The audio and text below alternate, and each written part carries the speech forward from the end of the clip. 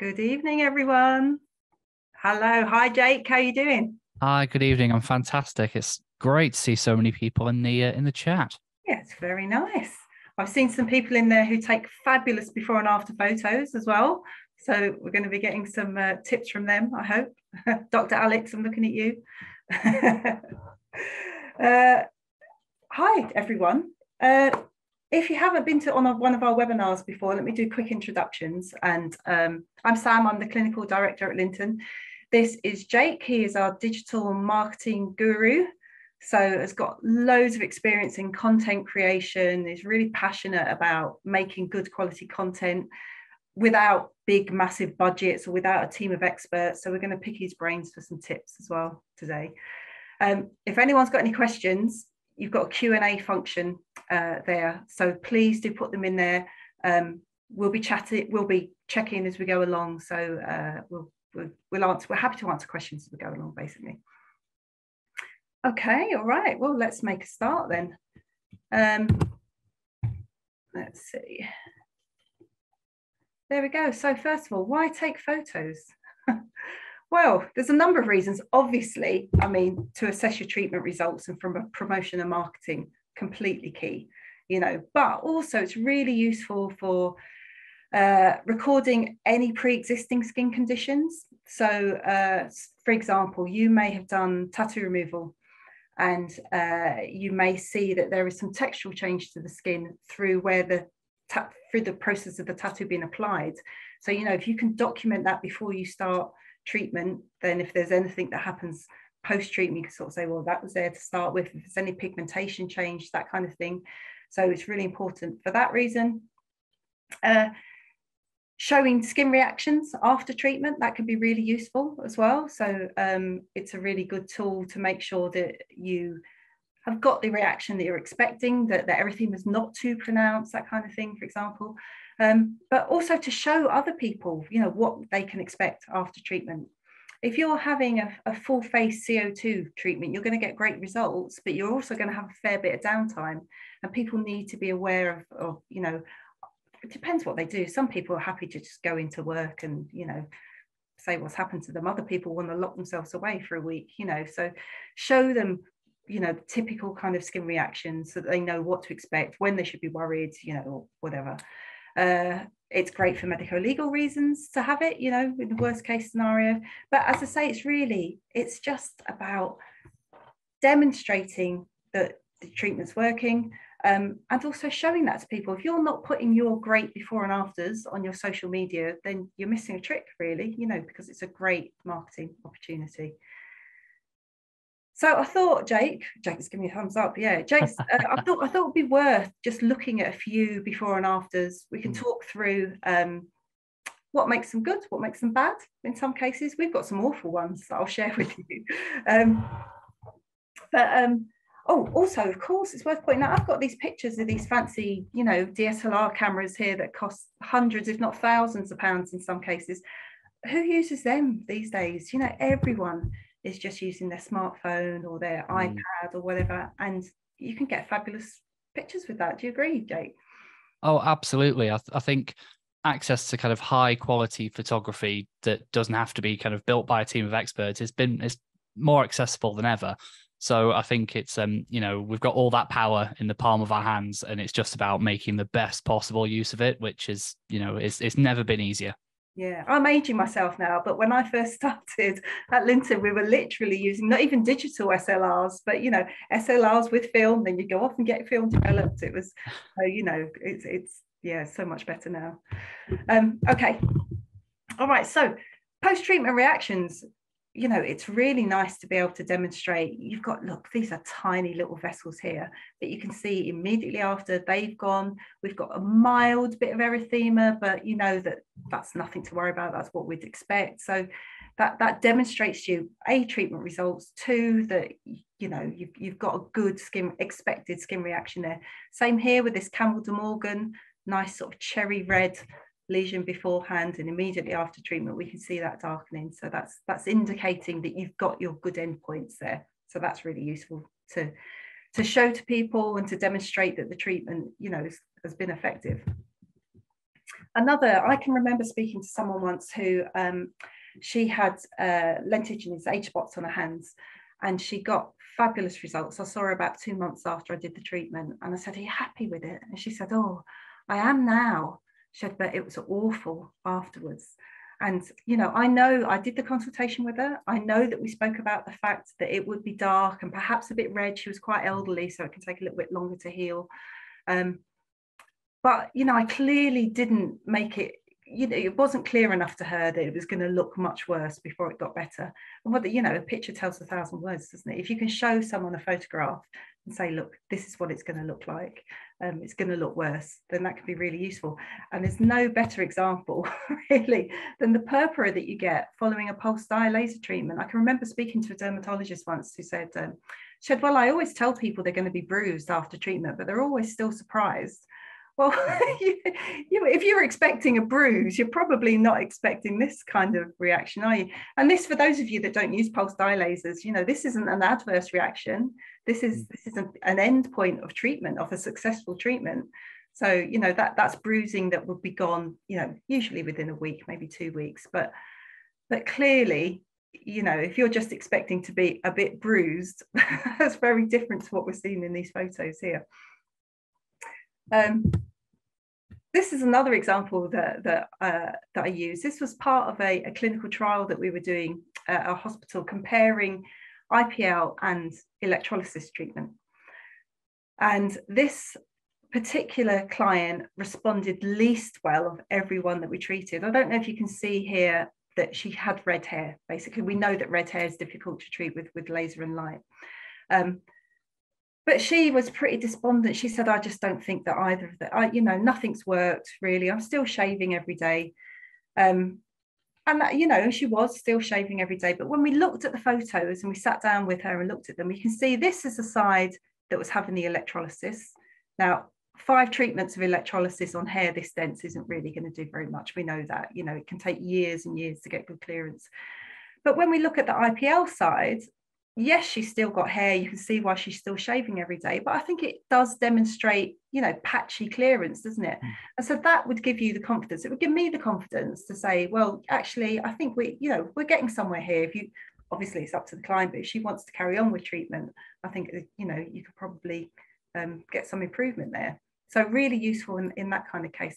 I another person who springs to mind, I spoke to someone once who was having a sideburns treated and she had about three hairs present there and she wasn't happy with the results. And I said, but there was no pictures, no before photographs. So I said, well, you know, you've got very few hairs there. And she said, but I had this many hairs before. And of course, I'd, without a before photograph, I had no way of saying to her, actually, this is a fabulous result. Because if she had three hairs to start with, then it wasn't a fabulous result, I guess. Um, I mean, sorry, Sam, it's, it's yeah. just worth putting uh, putting there that um, it's it's very easy to think of before and afters as uh, and treatment photos in general as things that you want to use to sort of wow potential clients and win new business. But it's it you know it sort of makes you make the point really well here that it's re- a really good tool for you for use Absolutely. throughout your business as well. So you're setting patient expectations. You're also sort of using it to help them on their journey. And you know not only is that really really good it's good value for money almost you know you're you're investing in good photos etc then if you're using them more you're getting more value out of it and the thing so, is, people, people don't remember what they look like at the start as well no. you know so it can be really useful to i mean we'll, we'll talk a little bit later on about um, consent but even if people don't want their photos on on the mm. web and i understand that you know i would still you know try and encourage all of your clients in fact or insist in fact on, on taking photographs at the start. I do, I do think mm. it's really important. It should be part of the whole sort of consultation process, really. Oh, definitely. Uh, so let's look at some photos. Here is a chap before and after. So obviously a nice result. But what's nice about this photograph, I think, is that we've got a nice plain background. We can kind of overlay the photos on top of each other. Have you seen those fabulous little sliding tools that you can use mm. where you can sort of draw it across? I think they're really effective. So that would be perfect with this. But he's we've got him standing in the same position, in the same position um, you know, against the wall with the same background. So I think that's a really good before and after photograph. Mm. Um, this is another one. This is following a, a CO2, uh, a SmartXide treatment, skin rejuvenation. Fabulous result, as you can see. And they're using uh, skin imaging systems to sort of take the photograph. So the chin's rested on there, there's a headrest there, although she's not quite centered on it. But, you know, so that, that can be, they can be really useful tools for, for, for consistency. But of course, you know, not everyone's got those and they're, they're not completely necessary either. We've got, um, here's one, some of you might recognize her, our training manager, Ree. And again, this is with the skin imaging system, but that positioning of the head and having it at the same angle is, is really useful with this. But as I say, you don't you don't need it. Got one here. He's in the same position. Good plain background, black background in this case, um, and you know clearly a good photograph. headband on in both cases, so they've tried to be as consistent as possible as well. This is another one, uh, which again I think is a good photograph, how we could improve it maybe. I mean, look, it's minimal because you can't see much background, but I'd always suggest a plain background if you can. Mm.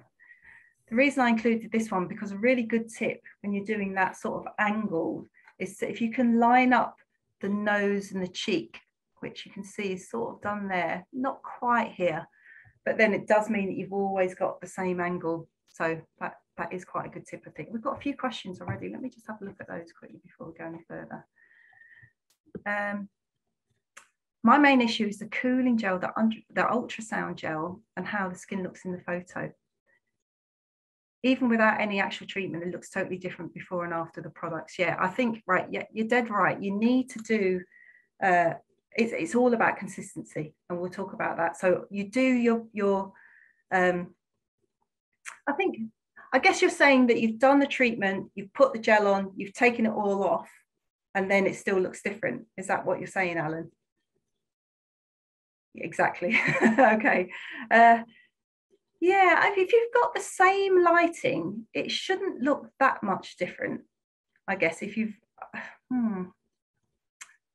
All right, that's a really good point. I guess what I would be saying is that ideally, before every time they come in for treatment, do a, a photograph. So if you're if you're talking about looking at the skin reaction, yeah, I understand what you're saying. That's tricky. But if you're if you're trying to get good before and afters, kind of, you know, do do your do your um, picture before the if you're if you're having a course of treatments, you know, or get them to come in another time. That's ideal. That's what you want. You want to do your course of six treatments and then get them to come in, you know, one to three months afterwards and have their after mm. photo at that point.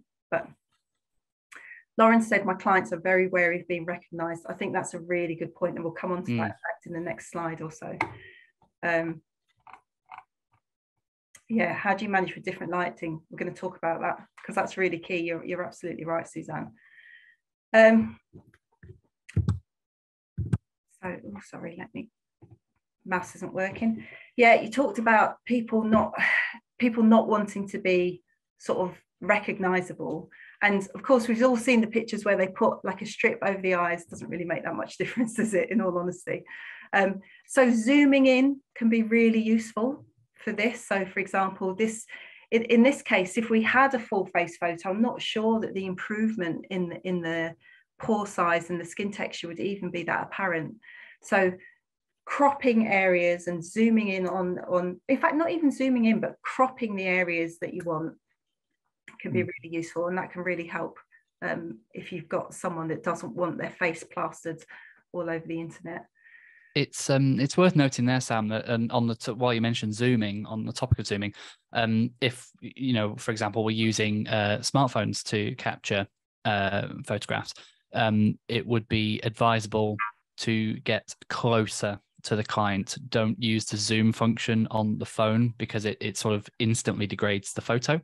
So um, it's really good to you know get to take the best possible photo first and yeah. then crop later on at the highest resolution. So that so what you end up doing is instead of getting far away and using the zoom and then having to crop further and everything's very grainy and pixely, it you've sort of wasted the opportunity. But if you take a really good photo first at the right distance, then the the cropping task like later down the line becomes so much easier. Yeah, that's a really good point. I mean, in it, you know, again, in the old days, we'd have these macro lenses and things like that. You just you, you just don't need that anymore, really. If you, or I'm talking, you know, if you've got a good quality, you know, newish uh, uh, phone or mm. iPad or whatever. Um, here's another example of someone that you know if you just you know people might not want their full face but if you were to show your client this and say how do you feel about you know just that area um, being on? They might they might agree to that. And you can see that here actually that what we want to look at is the skin texture slightly out of focus maybe here but i think you can still see a good improvement in those lines some improvement in the jaw uh, mm. there as well. Uh, so again and a plain white background there this is another nice one. Again consistent sort of angle. I don't think i think actually probably lying on the bed in this one but nonetheless still you know a good angle. The labels can be uh, especially if you're you know if you're just using it for your own sort of internal purposes they can be really useful for for identifying your clients. They can also help if, you, if you're finding it difficult to focus as well. Actually having the label on there can help with the focusing sometimes um, this one okay this one's an interesting one. Obviously a very good result on those big vessels there. So that's demonstrated really clearly in this. It's hard i guess it's hard to know if the lighting in the room is exactly the same. Now this person had I, am assuming Nd:YAG on these vessels and then IPL all over to reduce the redness. So it's it's hard to tell, I guess, how much of that improvement in the colour is due to treatment or due to different lighting conditions. And that's always a difficulty, I guess. Mm. This is one of the Lynton Clinic ones. And I think this is a this is an example of what I consider to be a bad before and after. And I'll tell you why. right? This is about the pigment clearance. And you can see she's had fabulous results on the pigment. Okay. But does her skin look better in this after photograph? I'm not sure it does. And hmm. it's because she's lying down on the bed like this in that treatment. And in this one, she's standing up. So it's made her nasal labial folds look more, more pronounced. It's made her skin, you know, just look a bit more lax overall. So this is why it's so important to make sure that you are consistent. Also, things like, you know, the, the towel on the head, all right, it's not the end of the world, but it would look better if she either had a towel on her head in both photographs or, or didn't in, in both, ideally. But all's not lost here because we can still, you know, crop and, and zoom in on the areas. And then that demonstrates really nicely, doesn't it, the improvement in the pigment. Mm and the photos on the side as well, they do the same thing too. So again, that could have been much better. This picture could have been much better, I think, if we'd sort of, you know, just been consistent with the positioning of our client. Oh, this is this one is again, it's a Lynton one. I actually treated this woman many years ago for rosacea. She had a fabulous result, but I think this is a terrible before and after. and again, so I, I know because I know her, I know she had a very good reduction in her redness, but the lighting is not quite the same here, is it? The zoom is different on both as well. So, you know, mm. that's an example of where we could have done better, I think. Um, but saying that, you don't want them to be too good. This is a uh, well, I won't I won't name the company. It's not a laser treatment. It's another rejuvenating procedure, um, and clearly her skin looks better. But uh, is this trustworthy? yeah, is this really a before and after photograph where they've got every single hair to fall in exactly the same way? I mean, that just screams Photoshop to me. Yeah, I mean, to sort of jump in on this one, I think you can you can stage hair, but there's there's a point, you know, that the, the, there's not a hair out of place there in the in the after photo, um, and I I think you know this um this is a really good example of editing versus preparing. Now we'll we'll, we'll touch on this a little bit later on, but you know the, the idea of editing a photo to make it better for publication is it, you can co- kind of risk your credibility by doing that yeah. so um, this is sort of i believe and sam does believe as well i believe that, that this is a, an example of that um, but you know yeah it, it, does look i mean uh, casting my sort of content creator eye on this it, it, it does look like it's been airbrushed because it's it's just a bit too good. Well, it just makes me not believe any of the other hmm. photographs mm. on the website either. You know, it's so I think it's really. I mean, you you you, say it's it, it's about preparing the photo, not editing. I like that because you know we don't want to be using any filters for for clinical mm. photography. We shouldn't be doing that at all, um, obviously. So, uh, but you know, if people can come in, especially I would say with with body shaping treatments, because sometimes if people have got different underwear you know on that can completely sort of change the areas that you're seeing so if if, if people can come in wearing the same clothes great. But you know we don't have to have them looking completely identical like this. Um, consent we mentioned earlier. So consent is really really important. Um, you should be when you're doing your consent for in your consultation consent for treatment sort of build into that process a consent for photography or even these days for videography as well you know because if you want to make a little reel things like that people love this you know.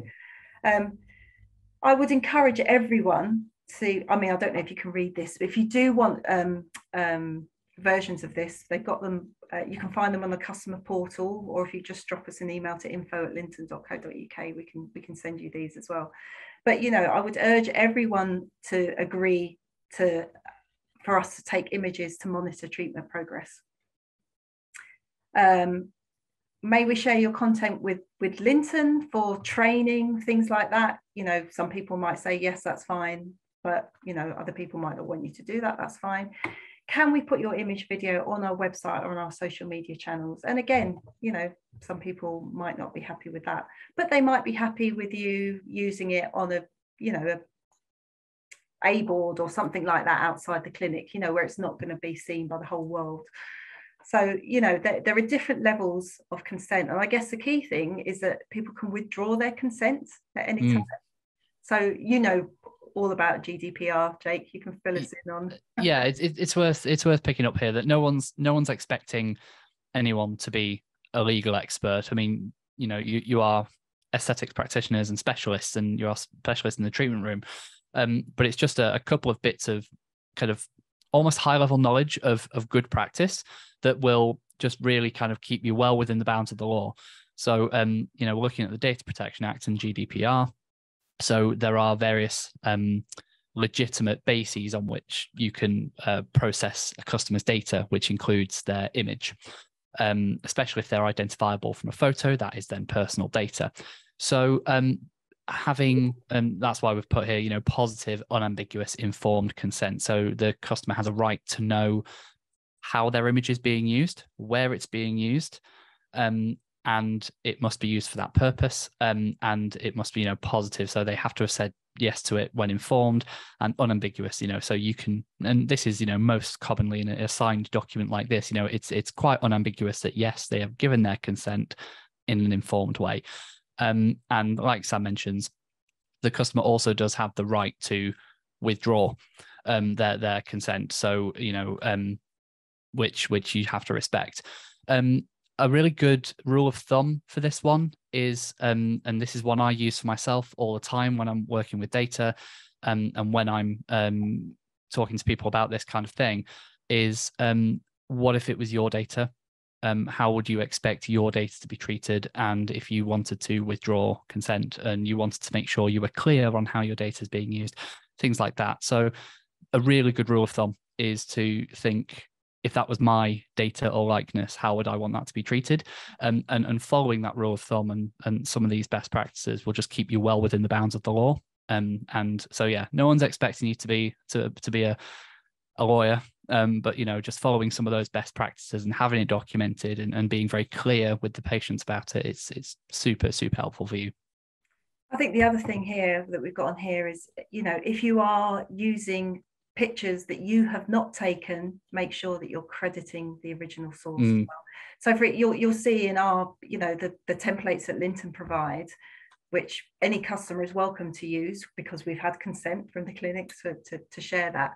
But do make sure that you're sharing the original uh, source um, on there.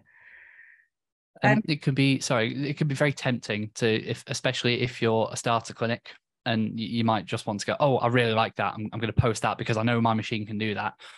Um, that is um, that can cause issues later on, especially if if the if the original clinic sees it, that can be that can be an issue.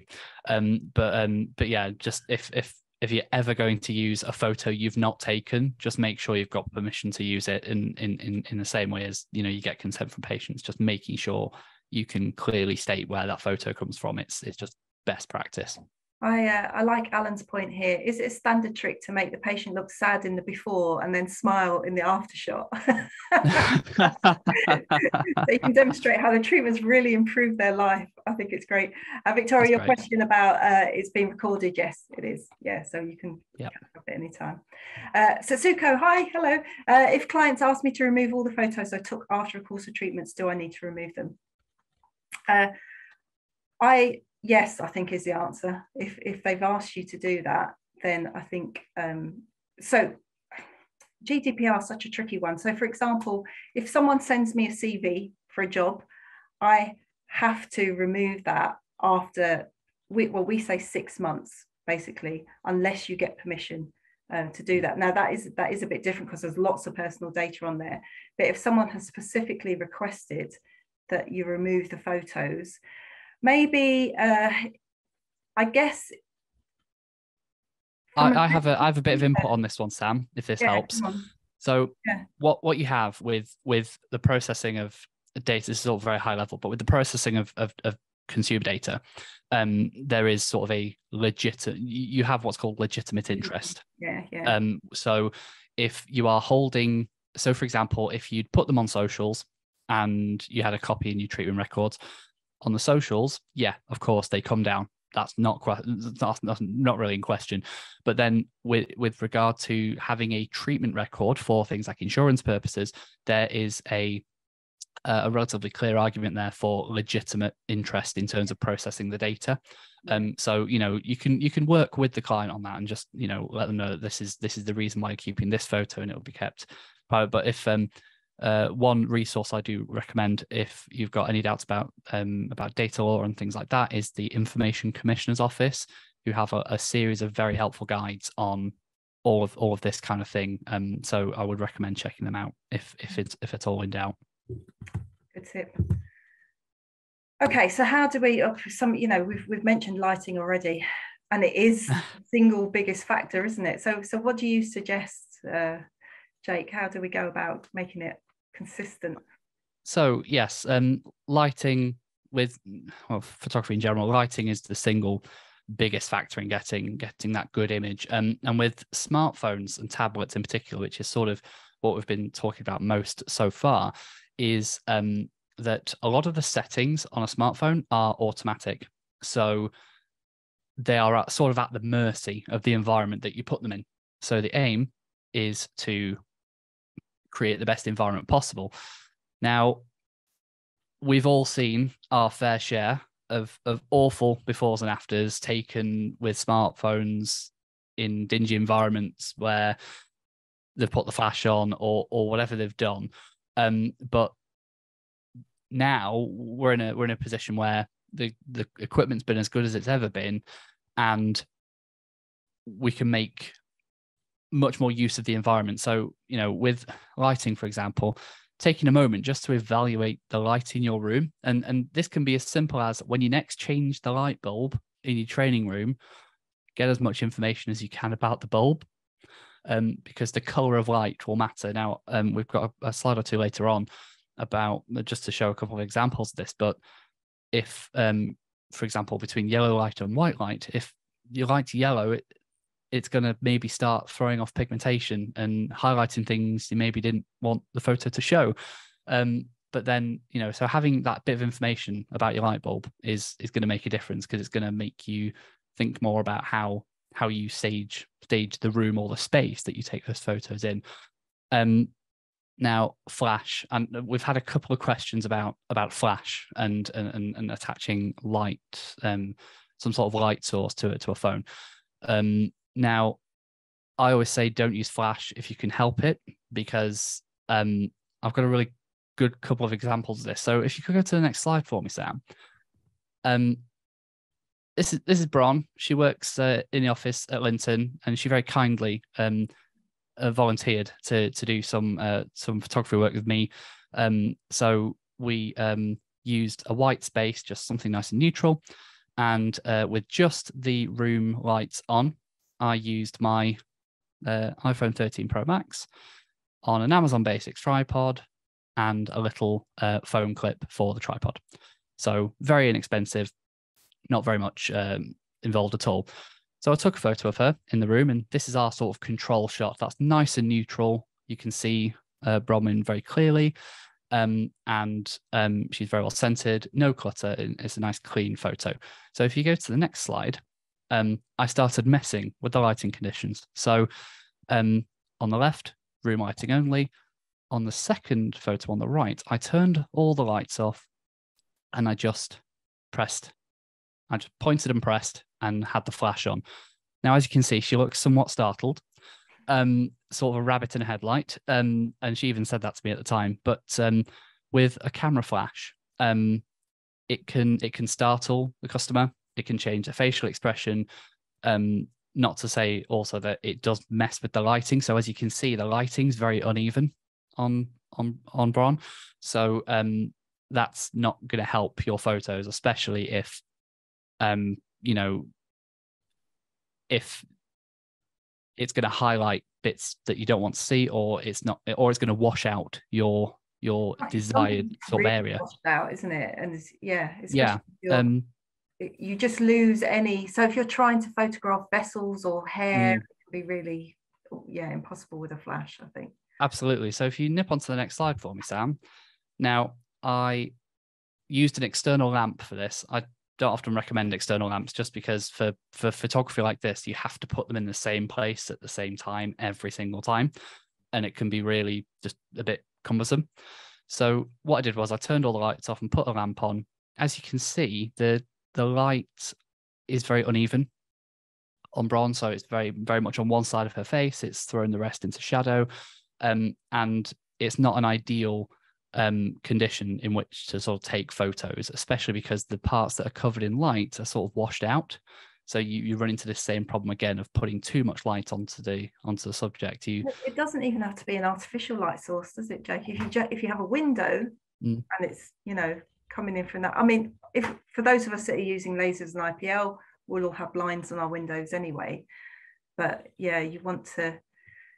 I, ideally, I mean, for for the control photo we did um it was obviously white walls we had a one overhead source of light you know the room lighting and that was bouncing off the off the walls and it was it was sort of diffused so it just created a nice gentle light um so if it's a bit dark, you might be tempted then to just keep adding light.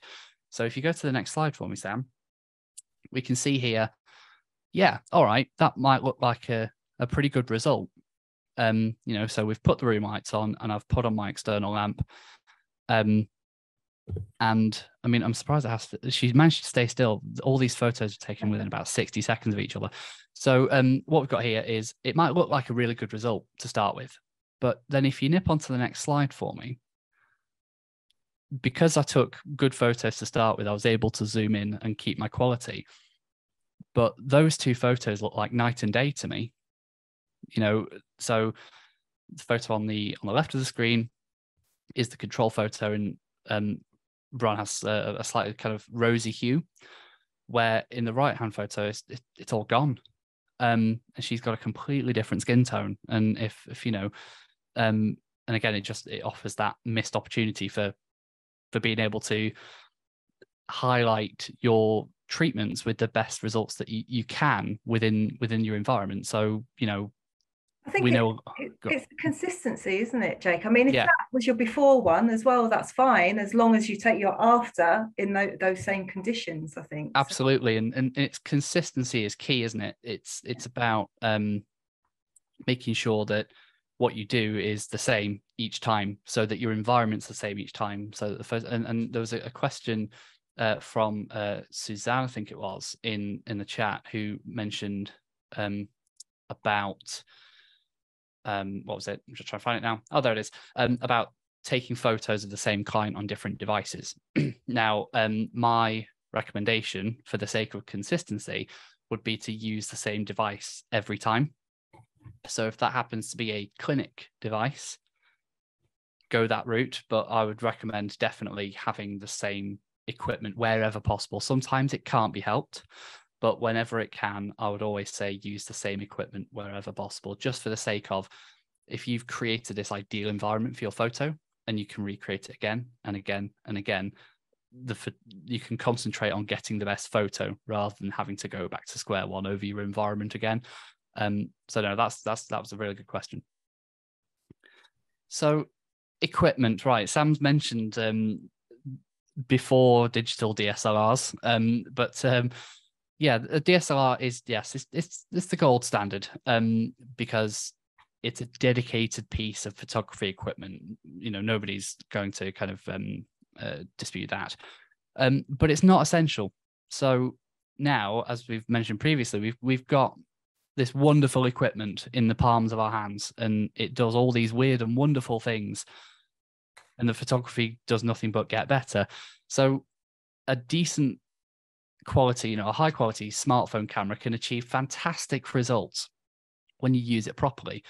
Now, this is why, you know, we talked about things like lighting and, and environment because the good principles of photography also apply to smartphone photography as well. So what we've got is um you know accessible equipment here for for high quality photography. And, and and most of what you will do is you know if you're thinking social media thinking on your website or you're sharing it via an e-shot and all those different uses those digital uses a, a- a good quality smartphone camera is going to be more than enough to to sort of do that so you don't have to go out and think right i need to go and buy a 600 pound body of a camera and i need to spend 2000 pounds on a lens no you can really make the very best of what you've got in your hand and and it doesn't need to cost the earth I'd be interested if anyone is using, uh, you know, cameras or SLRs or, or you know, let us know. But I think these days most people tend to be using a, a yeah, device of some sort. If if it helps i've never used a dslr i've i've been creating content for longer than i care to admit um You're young, Jake. but like I said, yeah, I've I've been creating content um and taking photos for- for a long time, and I've never used a DSLR. I've I've just found you know being able to use a phone on the fly and and and and use it use it well is it's just served everything I've needed it to serve and, and done everything it's needed to do. So I- I've never felt the need to sort of um remortgage my house for a camera.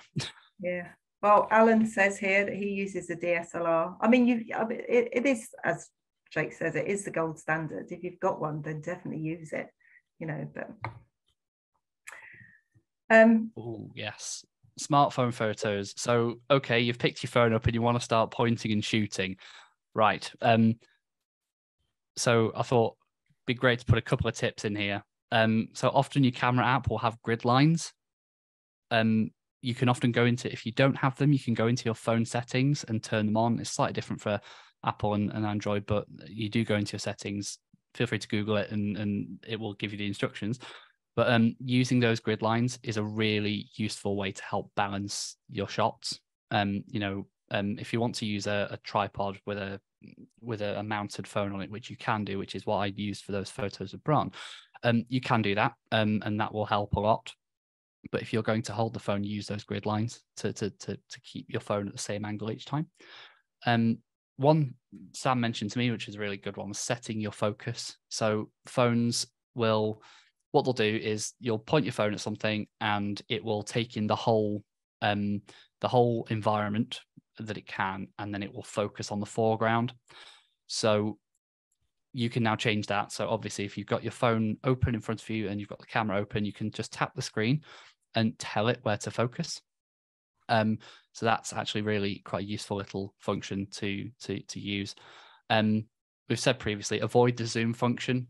Um, you know, this is like kind of digital zoom. It's not going to be the same kind of quality of zoom you can get on a DSLR. The technology just isn't there.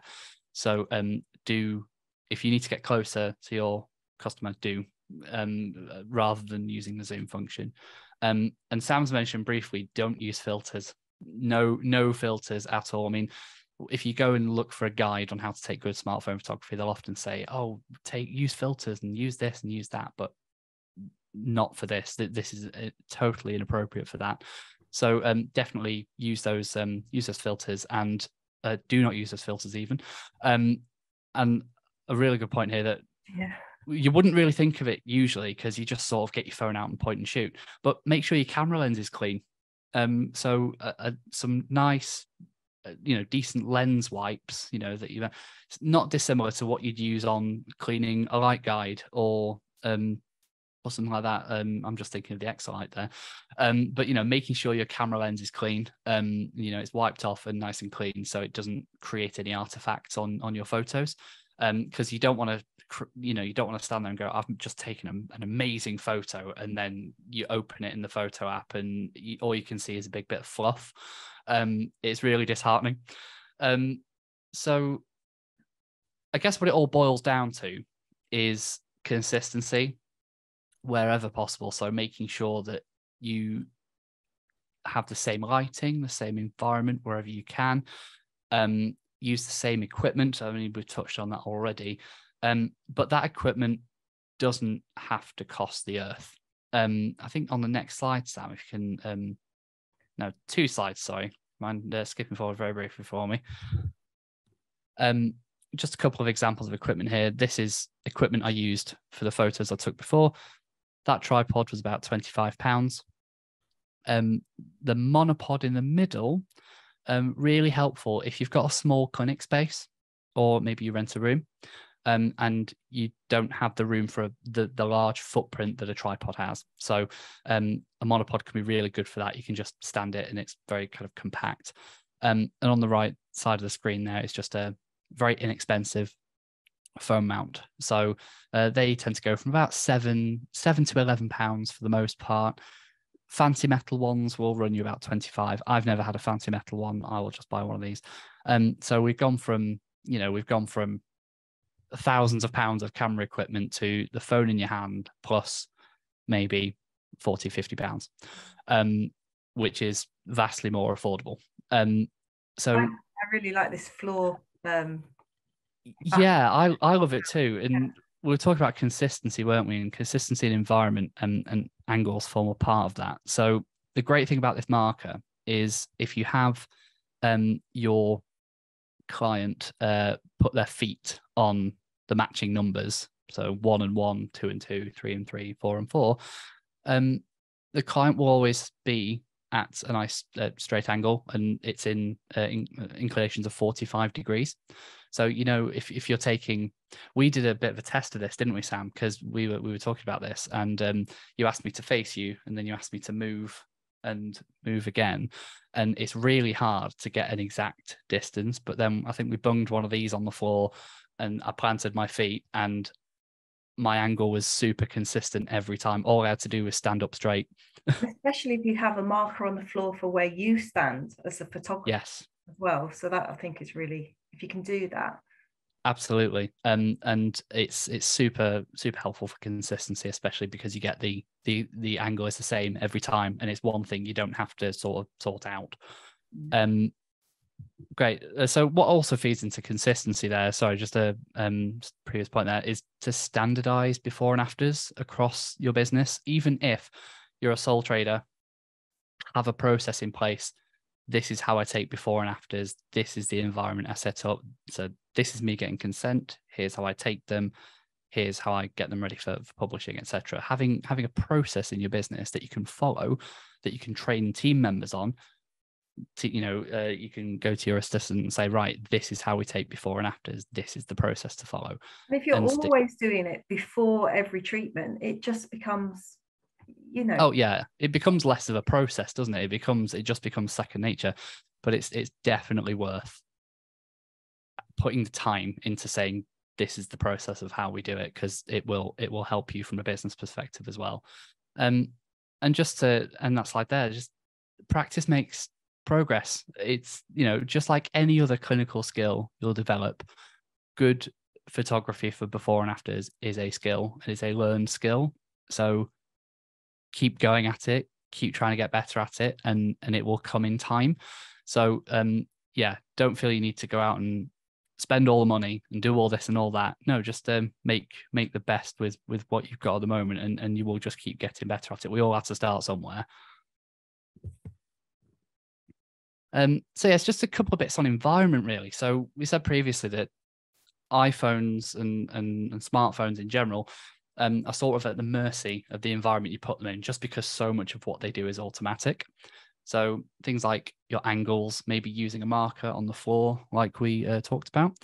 Um, things like the colors, so the color of your light, if you can tell whether your bulb is white or yellow, um, and you know just knowing that is uh, can be can be very helpful um, a distance as well. And this can be a little bit more difficult, especially if you've got different areas of the body you're photographing, but always try and use the same distance every time. And don't be afraid to get a little bit of paper tape and pop it on the floor.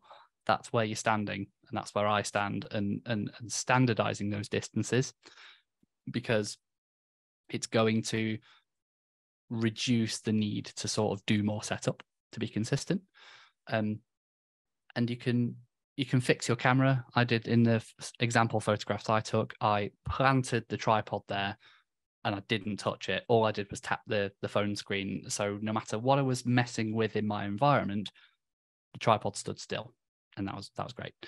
Um, but yes, you know, white backgrounds are best. No clutter, nice and nice and plain. It uh, gives the phone less work to do and lets it focus on your subject.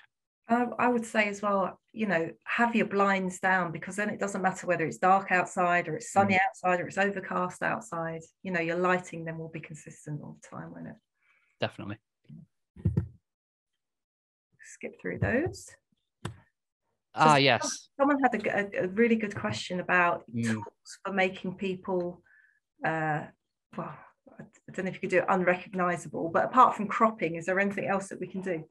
Yes, definitely. So we've we've touched on the idea that we we prepare pics. So we've we've we've gotten our consent. We've taken our photos. Where do we go from there? So um, yes, we we prepare photos. We don't edit them. So, and I think that's a really important distinction to make. But there are lots of great tools out there to sort of prepare our, our photos for for publication. So, uh, PicCollage is a really good one. You've seen a couple of examples of that um, so far. Um, there are lots of free apps out there. Um, the pink square there is a called Layout from Instagram, so you can just stack photos next to each other and do crop and zoom in the uh, all in the app. Um, down at the bottom there is something called Adobe Express, which is like an online browser-based um, editing tool. Um, but the big circle there, um, and it's the biggest circle because I like it the most, is uh, it's called Canva. Now, Canva is a fantastic editing tool. The free version is unbelievably good. I've been using Canva for about seven years now. Um, it's absolutely fantastic. Um, it's great for doing uh, cropping, zooming. You can create um, uh, canvases that are the exact size of social media posts. So, you know, a good 1080 by 1080p um, picture for Instagram, you can create that and then deposit your photos into it and then um, mark them up or crop and zoom. It's absolutely fantastic. I would recommend using it. Yeah, www.canva.com. And it's a desktop app and it's a phone app as well. So you can download it on your phone and have access to the the photos there and you can once you've created a template you really like you can just keep copying the design and there's your standardized template mm. um that so it makes your social media feeds standardized as well i guess yeah so you can you can create canvas size at, at will. It's absolutely fantastic. Um, and you can also, if you nip onto the next slide for me. And is that um, free, Jake? It is free. It is. The, the free version of Canva is fantastic. It's really good. Um, so I'd recommend it. So I, uh, with this, I just did a couple of examples. I mean, I think you know who that is by now. Um, but um, you know, I, I gave myself five minutes and those photos and a logo and nothing else. And I said, I've got five minutes to create uh, three templates. And I made those three. And that, and all I did was dump the original photos into Canva, one logo, and I was able to put black bars across uh, Bron's eyes. And so, yeah, this is a tool that you can do that with. You can just insert a shape and then crop it to the right size when you download the photo, it embeds it into the photo as well. So no one's going to be moving that black bar around because um, it's it's part of the image. And the same um, mark then, I guess. You can't. Yes. Yeah. Exactly. So uh, the Lynton logos here, um, I've I've popped the logo on and faded it out, which is all done in Canva. Uh, faded it out and um, I've downloaded that, and that's part of the image. If I try to split that image in two, it would split the logo in two as well because it's just embedded. So in five minutes, I created three templates, um, and it um, it's that it is that easy. It's point and press, and uh, you can't break it. It's uh, and no, Canva really is a fantastic tool. I would highly recommend having a play with it. Can you do things like pixelate, you know, areas with Canva? Um, that's a really good question. I think you can do some kind of selective blurring, but like I say, um, with a lot of the a lot of the standardization you sort of see black bars and and that is like that's a you can just do it like that um but i would definitely encourage going and having a look signing up for an account and just having a play with it. It's super good great tool. Um yeah this sort of brings us to the end doesn't it sam? Uh, pretty much. So um yeah, yeah, i mean we've got a few questions as well. Oh yes definitely. But but basically you know you, you as i said before you need to be demonstrating your fantastic results. People sometimes don't realize but I, you know i've spoke to people who've you know had age spots going back to age spots on the hands and you know i just have no idea that those sorts of things can be treated. So if you're you're putting that on your social media there'll be someone out there that say oh I can get rid of those veins or the little spider mm. nevus or you know get some jaw lift or whatever it might be so, you know, you must be taking these pictures and using them where you can as well. And I guess putting a process in place that everyone follows so that you regularly are taking pictures. Um, and I'd also say, you know, it's not like the old days where you had to get things, uh, films developed. So take lots of them. There's nothing stopping you taking a couple of photographs of, you know, each different angle. Um, and just being consistent with your lighting, I guess, is the, the really key one. Yeah, definitely. I mean, before and afters present a huge opportunity, not just for not just for marketing and promotion and winning new business, but for for show for showcasing your ongoing value to your clients. Um, it's it's a super tool. Um, you know, for, for example, um, I'm sort of I'm having some treatment at the moment, and I couldn't remember what it was like before um, and i've got sort of a couple of photos but now i can definitely tell the difference because i've got photos that my uh, the, people who treated me at Lynton have shown me and it's it's great to see that progress. It's so it's really good to sort of demonstrate that ongoing value. So being consi- so just like any other good business process make it nice and consistent yeah. and something that that everyone can sort of buy into it's it's setting up that photo station isn't it having mm. the same area where you always take your photographs and then you asked the question about whether it's better to do it standing up or lying down well mm. i mean if you're consistent it doesn't really matter i guess my preference would always be standing up because then especially if you're doing things like you know skin rejuvenation type treatment you can you saw the difference in mm. that picture that we saw. If someone's lying down or standing up you, you you're getting a true reflection if they're standing up aren't you? You can look at you can see laxity and things like that. And definitely. you'll also have a plain background hopefully if they're standing up. Whereas if they're definitely. on heads then you know you've got towels behind or whatever it might be.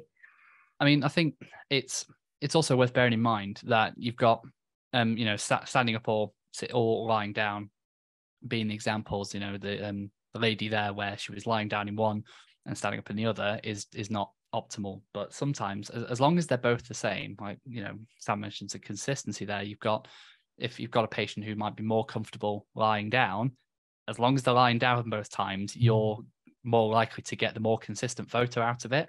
So don't feel like you yes you've got a process in place but don't feel like everyone has to stand all the time and you know do you can still tailor it to your clients as long as you're being as consistent as you possibly can with that client. saying, though, get you know you, you need to take those photographs before they even mm get on the bed, you know, but after they've signed the consent, you stand them up against the wall and you take the photographs.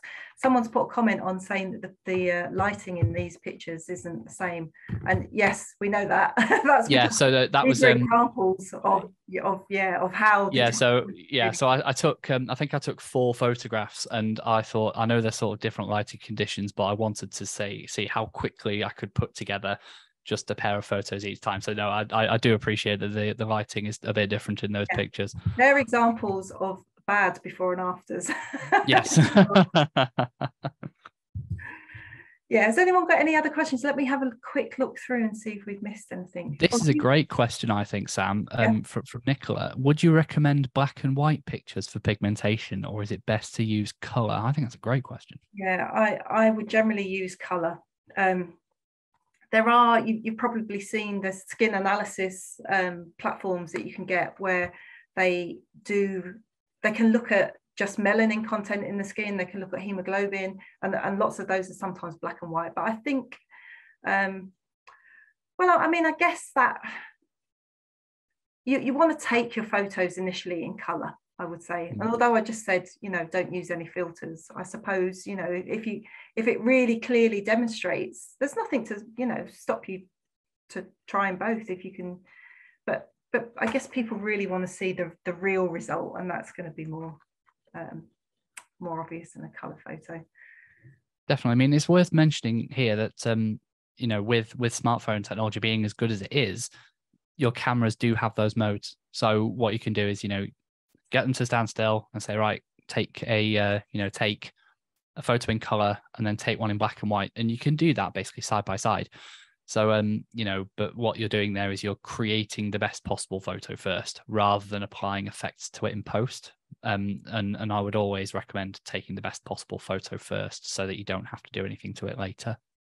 Yeah another photo about taking pictures after after patch tests then you know yes that can be really useful to show the skin reaction after treatment. Mm. um, but you know if you want to show if you, if you want it for marketing then really what you you need people to come back in after treatment. I know that can be difficult but you know if, if someone's had a course of skin rejuvenation treatments for example that collagenesis is going to take three months or so to get the best results. So ideally you want them back in at that mm. point. Mm. So, you know, before doing any treatment. But certainly, yeah, you know, taking pictures um, immediately after treatment, uh, although might, might not be as useful for, for social media, is, is, is really good to, you know, keep on file for that person, I would say. Mm, definitely.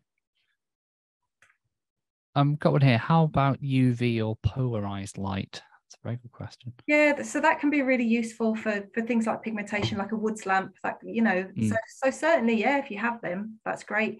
Videos again, that's another you know, brilliant for social media. Mm. Um, but I think I think with videos, the the same the same principles tend to apply, and it's just making sure that and and it all sort of comes back to creating the best possible environment for your equipment to succeed in. Um, and so you know if you're taking videos especially if you're taking them with a smartphone just making sure you've got that nice consistent environment where possible to to kind of to show off your show off your great results basically. Yeah absolutely. Um i think uh, in a salon with numerous therapists where would you store pictures um, Ooh. What, what we do at our clinic is we have a clinic iPad, and that's what we use um, for, for taking photos. Um, now, if you've got multiple Apple devices, you can store all of those in, or you know, or Android, I would guess. Um, you can store all of those in one location. Um, but what you, I guess, what you don't want is one of your clinicians using their you know their iphone 13 someone else using their samsung someone else using you know So if if they're all, it's yeah, it's better where possible if they can. Yeah, if if you've got if you've got a um if you've got a um one device that a clinic uses, then you can have it in one iCloud account, one uh, Google Cloud account, or whichever it is. Um, that's that's sort of that's ideal if you if you if you can. But if you have just a, as part of the business process you set up, you have a defined place where you store these things and how you name them and and, and structure them. Uh, so you can use things like Google Drive is is great for that. Um, OneDrive uh, from Microsoft is is another good option, um, or even iCloud. So um, I just by preference work with Google Drive or, or OneDrive um, despite being a die-hard Apple fan, but that's a that's a different that's a story for a different day. Um, yeah, so as long as you've got a clear idea of of how it's stored, where it's stored, and how it's named, it's you can you can use any of those services to really kind of get the most out of it. Yeah, I would say, um, yeah, name and date is always useful. I mean, you mm. should have the the the, the date that the photo is taken on the file anyway, so that's fine. But um, yeah, or if you have pre-treatment number four or whatever, something like that, that's useful too, I guess. Uh, okay, I think that's it for questions, um, unless anyone can type one very quickly. So, uh, Jake, thank you very much for all those really helpful tips. Um, well, thank you very much. And yeah, we'll. This has been recorded, so we'll put we'll put the link on the um, on our socials and uh, pop it onto YouTube at some point. All right. Thanks very much for your time, everyone. Thanks, everyone. Bye. Bye bye.